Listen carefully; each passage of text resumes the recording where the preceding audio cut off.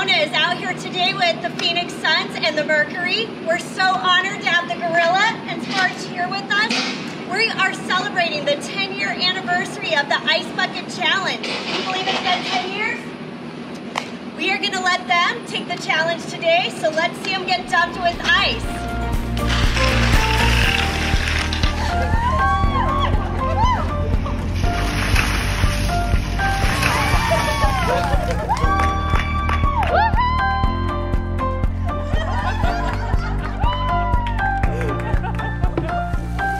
Join us August 3rd at Salt River Fields to raise awareness and money to support our ALS Arizona patients and families. Bring your own bucket, make your own video, and help us end ALS.